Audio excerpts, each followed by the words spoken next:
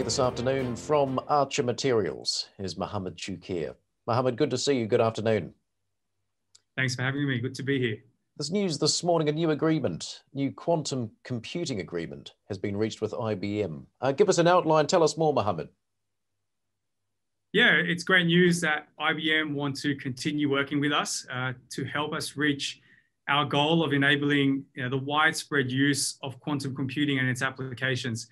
Uh, and this is really important because we know that, that getting there will be very difficult on our own. Now, quantum computing is not uh, the, the, simplest of, of technology. So this is the type of technology uh, you don't develop on your own. And, and so we're, we're very much looking forward to continuing our work with IBM. Just taking a step back, give us a quick reminder about your technology and why you view it as being unique. Well, I think the first thing to remember is that there are only a handful of companies in the world building a quantum computing qubit processor, a quantum computing chip. So what we're not doing is building the whole quantum computer. Uh, what we're doing is building the brain of the quantum computer, which is a quantum computing chip. And what is so special about our technology is when we're successful, uh, ultimately, uh, what our technology will translate to uh, is is that the current device that you know you're using, uh, current devices that you're using, would be turned into quantum powered devices.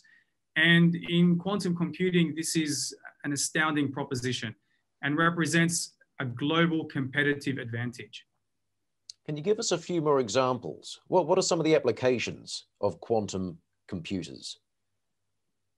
Well, yeah, I mean, this is a question uh, we, we get all the time. And, you know, I'm, Andrew, what I'll say is I'm sure that you'll agree with me that computing is undergoing a revolution, right? I mean, we don't have to be rocket scientists to figure this out. Um, you know, quantum computing represents the next generation of powerful computing and really is set to impact almost every sector dependent on computational power.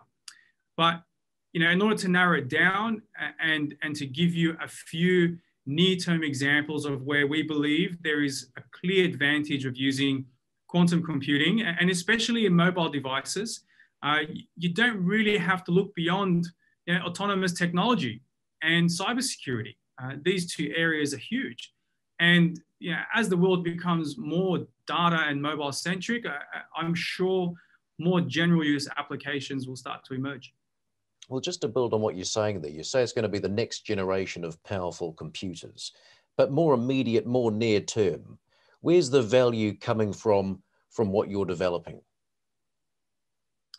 Yeah, I mean, that's a very important question. And, and look, these will come, uh, the, the, answers to quantum computing will come as, as more and more algorithms are developed. Uh, but more importantly, as the quantum processing chip hardware, the quantum hardware is developed and matures. And, and this is the domain where Archer operates. Uh, in building the brain of a quantum computer, the processor chip. Without the processor, you have nothing, right? Uh, so this is why there is, uh, I guess, a tremendous amount of value in, in developing quantum processor technology. But in saying that, it's not a fast follower field. These things take time.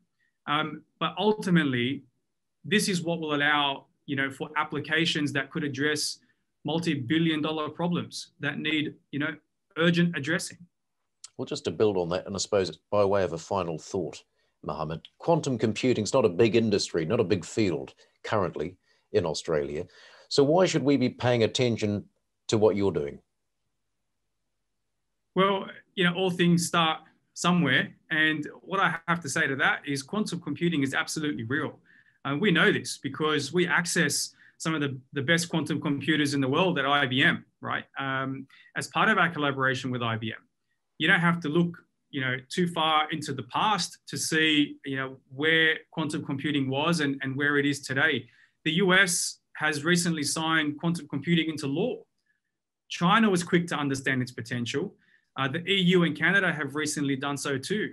Uh, and what I think, you know, what I believe this shows is that there has been a firm commitment from the largest economies in the world that quantum computing is going to happen. I mean, it's irrelevant whether you and I, Andrew, think it's going to happen, right? So, um, yeah, at, at, the end of the day, it is happening. It's real, And we're seeing a quantum ecosystem flourish uh, as a result, and, and we're, we're very proud to be part of it.